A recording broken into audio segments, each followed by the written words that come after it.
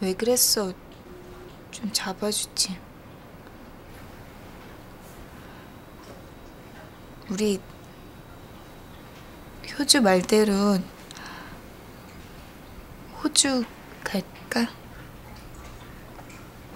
아니 거, 거기 좋다면 바다도 넓고 날씨도 따뜻하고 효주 신경 쓸 거 없어. 저러다 말 거야. 뭐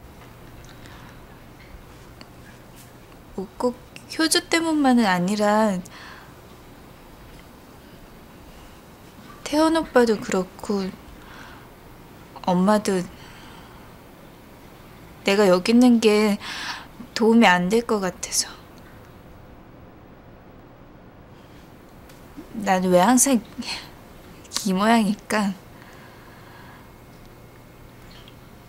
난 내가 꼭 굴러온 돌 같아. 자기 자리도 아닌데 멋대로 굴러와선 제자리에 있는 사람들 성가시게나 하고 이번엔 내 자리인가 보다 했는데 이번에도 아닌가 봐. 이렇게 덜컥거리는 거 보면 임마. 그게 무슨 소리야. 굴러온 돌이라니. 그런 바보 같은 말이 어딨어. 네 자린 여기야. 여기 바로 내 옆.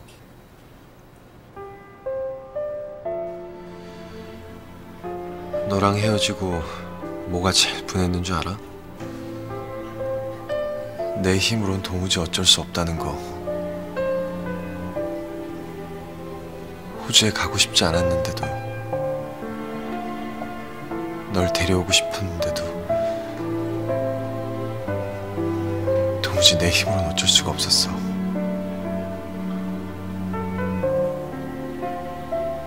그게 15년이야. 이제 겨우 만났는데, 이젠 더 이상 어쩔 수가 없어서 다른 사람들 때문에 그런 거 하고 싶지 않아.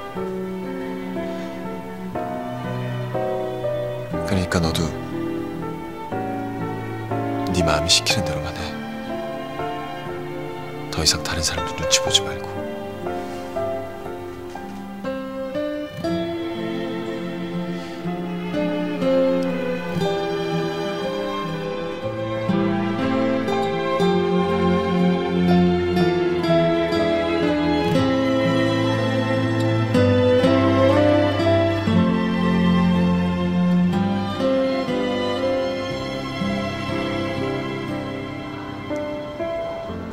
야 서하늘